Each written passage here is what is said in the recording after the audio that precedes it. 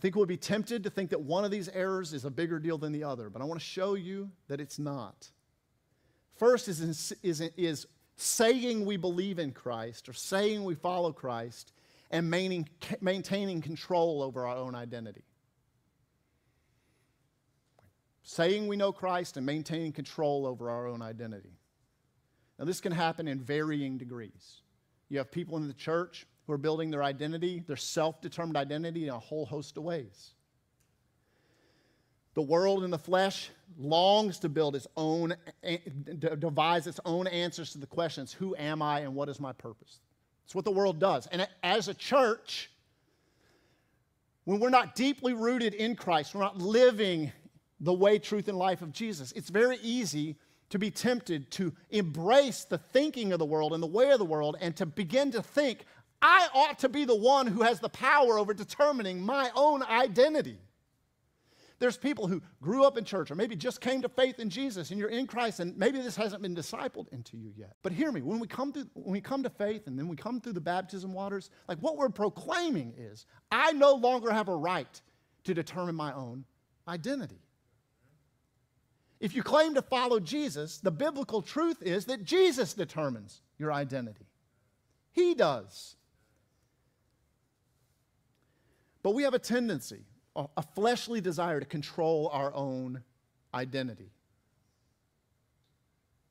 I think this is a growing issue within the church where people claim to follow Jesus but want to define who they are and where their joy is going to come from. No wonder they don't know all the promises that we as a church don't know all the promises of God in our experience. We demand our own identity and we get our, the level of happiness that we can get from the identity that we've developed rather than wrapping ourselves in the identity of Christ and gaining access to all of the joy that God gives. Following Jesus means surrendering that control. The world tells us to define ourselves by our sexuality, by our race, by our gender, by our ideologies. All of this is slippery. In Christ, though, we have a new identity, and we are not given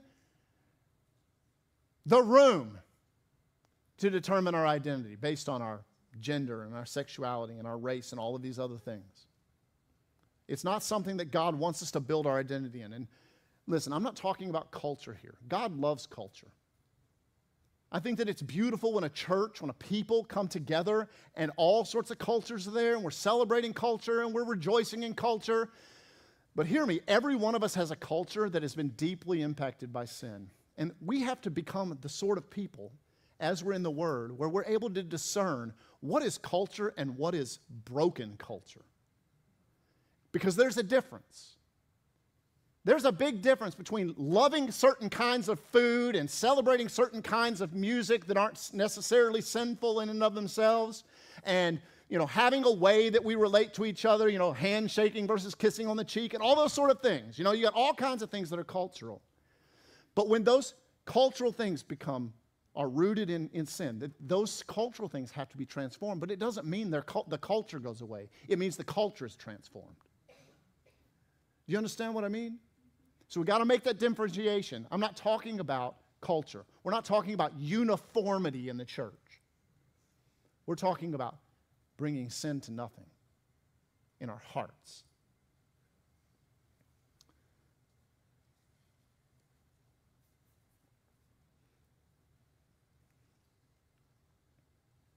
we don't get to define our own identity.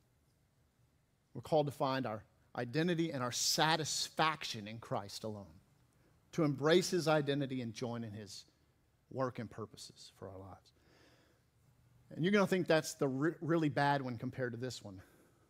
But I don't think that Scripture teaches the, that sort of this is worse or this is better. The second major error is more like Jonah's error claiming a godly identity,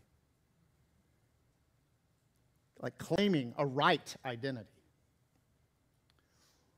while willfully living in disobedience and rebellion.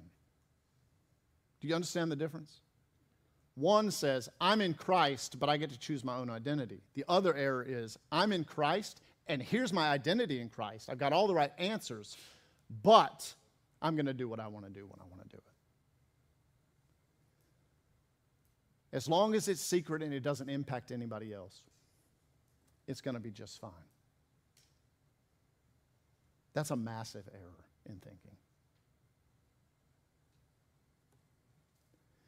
There are many who proudly wear the label of Christian or child of God or disciple of Jesus, but their actions just don't align with their profession, their professed identity in Christ Jesus. And it's those same people who are demonizing the people who are lost, who are just embracing the identity they've chosen. Most people in the church who are humble enough to know Christ, to walk with Christ, and to choose to submit to Christ and be obedient to Christ, and li- they're not out throwing stones at people who are choosing to live according to their flesh because they don't know Jesus. They're actually brokenhearted, people who God is shaping and God is working in and God is with, and they're seeking to make sure their identity and their actions are matched and they're humble enough and allowing the Spirit to do those things. They never pick up stones and toss them at people who are embracing an identity they've chosen in the world because they don't know Jesus.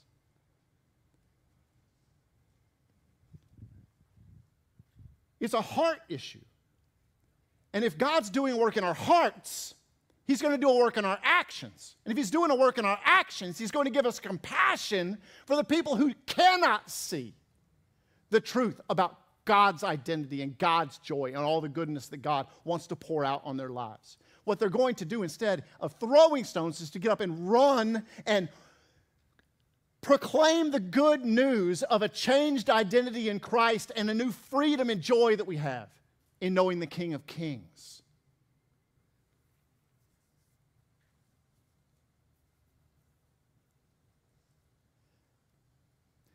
You know, this disconnect between our words and actions, it isn't just a problem for our witness to other people, it's a threat to our, our very own spiritual health.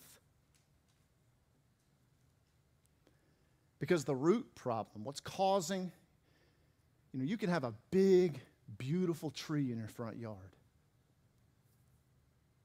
Leaves, you know, starts to do some funny things, but it's not major funny things, it's minor funny things like a, a uh, more branches than are supposed to fall off are falling off, and the leaves have a little bit of a funny look. But generally, if you're not educated about trees, it looks like a really great tree. But you know what those little evidence, those itty bitty evidences are? Root rot. Root rot. Root rot is pride in the human heart that says, you know, I can maintain this sin as long as it's not hurting anybody else.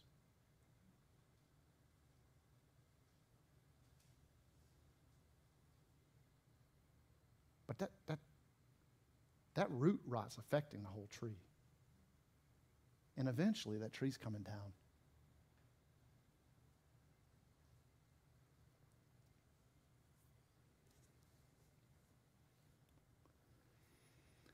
You know what? There's good news. God doesn't expose our hypocrisy to shame us, He does it to bring us back to Him. When He reveals the disconnect between our identity and our actions, it's an invitation to re- realign who, who He's created us and called us to be. Realign our lives with who He's created us and called us to be. It's an opportunity to confess where we've gone off track and to ask for God's help and for the body of Christ's help in living out our true identity in Jesus. God's grace is relentless, and He's given you everything that you need to deal with the realities of your heart.